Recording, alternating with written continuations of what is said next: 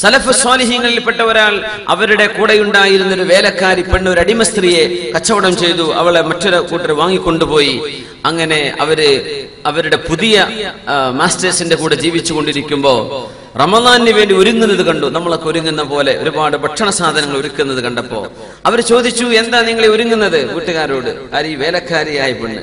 പറഞ്ഞു "നസ്തഅദ്ദു റമദാൻ. ഞങ്ങൾ റമദാനിന് ഒരുങ്ങുകയാണ്. റമദാൻ എന്ന് പറയുമ്പോ നമ്മുടെ നാട്ടിലൊക്കെ അരിയും മറ്റു മസാലകൾ പൊടികളൊക്കെ എടുത്ത് വെച്ച് ഭക്ഷണം കഴിക്കാനുള്ള മാസമാണെന്നാ തോന്നിപ്പോവുക സത്യത്തിൽ പട്ടിണി കിടക്കേണ്ട മാസമാണ്. ഭക്ഷണം കഴിക്കാനുള്ള മാസമാണെന്ന് തോന്നുന്നു. വിളമ പറയാറുണ്ട് പെണ്ണുങ്ങൾ അധിക സമയവും മത്തുബഹുകളിൽ സമയം ചെലവഴിക്കരുത് എന്ന്. എനിക്ക് തോന്നുന്നു അതൊക്കെ വളരെ കാലം മുമ്പ് നോക്കി കണ്ടിട്ടുണ്ടാവും ചിലപ്പോൾ നമ്മുടെ പ്രത്യേകിച്ച് മലബാർ പ്രദേശങ്ങളിലൊക്കെ ഭക്ഷണങ്ങൾ ഉണ്ടാക്കി പെണ്ണുങ്ങൾ കുഴങ്ങാണ് ദുഹർ കഴിഞ്ഞാൽ പിന്നെ അവർക്ക് ഓതാൻ പറ്റൂല. ദുഹർ കഴിഞ്ഞാൽ പിന്നെ ഒരു അഴ്വാത്തിന് സമയമില്ല ഭക്ഷണം കടി പലഹാരങ്ങളും അതും ഇതും റമദാനിന്റെ വിഭവങ്ങൾ ഒരുക്കുകയാണ്. അങ്ങനെ കിച്ചണിൽ മുഴുവൻ സമയവും നഷ്ടപ്പെടുകയാണ്.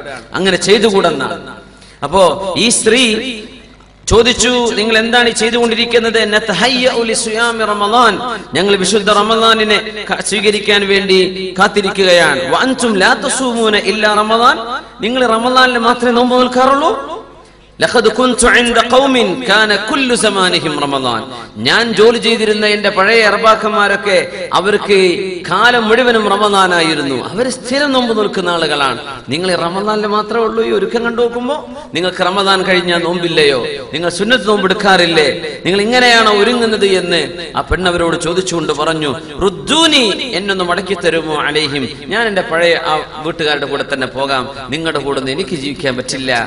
എന്ന് ഒരു വേലക്കാരി പെണ്ണ് റമദാനിനോടുള്ള മഹത്വവും നോമ്പിന്റെ പരിശുദ്ധിയും മനസ്സിലാക്കി അവരുടെ യജമാനന്മാർ ഉപദേശിച്ചത് നമ്മുടെ വിലമ രേഖപ്പെടുത്തിയിട്ടുണ്ട്.